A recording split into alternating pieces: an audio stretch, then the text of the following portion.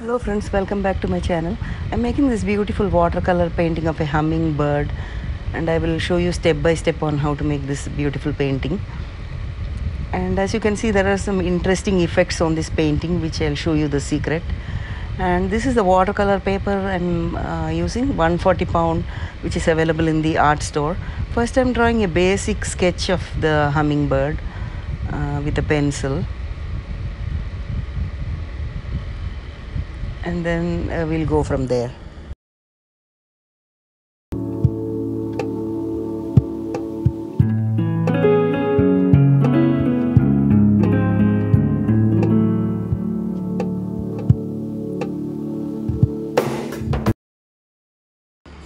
And I'm using these colors uh, pink, purple, I'm using tube watercolors, but you can also use uh, any type of watercolor that you have on hand. It doesn't really matter what brand you use and what type. So I put these colors and we need water. So I taped the paper onto my draw drawing board with a masking tape of the four edges of the paper. And then now first step I am wetting the bird uh, with plain water. So it is uh, wet and nice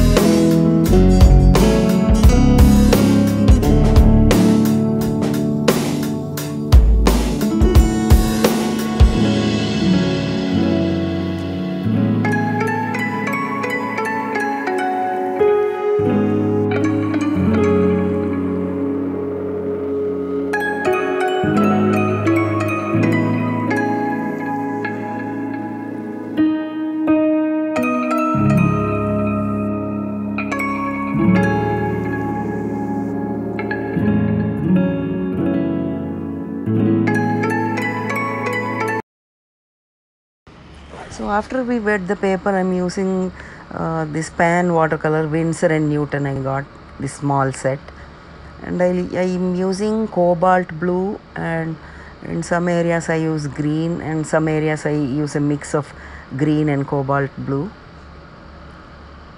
So first I'm uh, using cobalt blue and then tiny bit of green. So the blue and green mix will give a nice color, like almost like a teal and I also use a little bit of ultramarine blue. And since uh, birds can be of any color, it doesn't really matter. You can use any color combination that you prefer. I'm just using these two colors, but feel free to use any other colors also. It's up to your imagination. So, as you can see, the once the paper is wet and we add paint, it spreads very easily. So that's the advantage. So just do random loose strokes of colors onto the bird.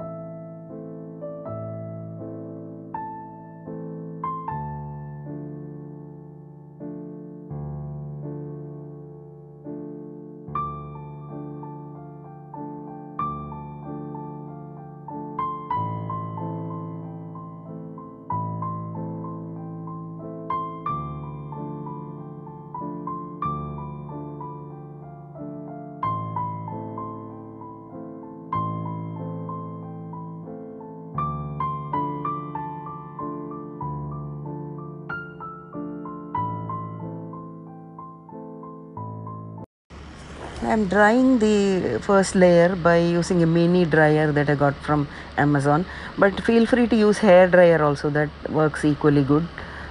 Hair dryer yeah in a low setting if you dry it'll be perfect. So once this is dry then we'll add the second layer of colors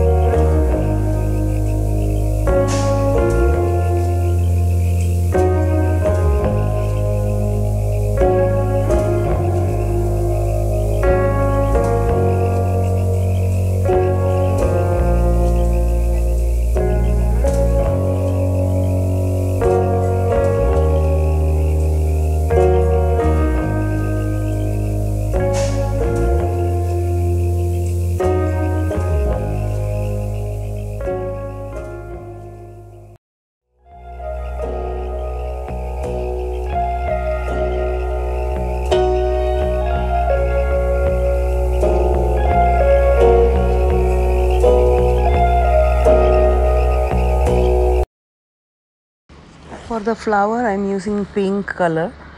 And i'll be mixing some purple also just to give a nice cool color to this uh, flower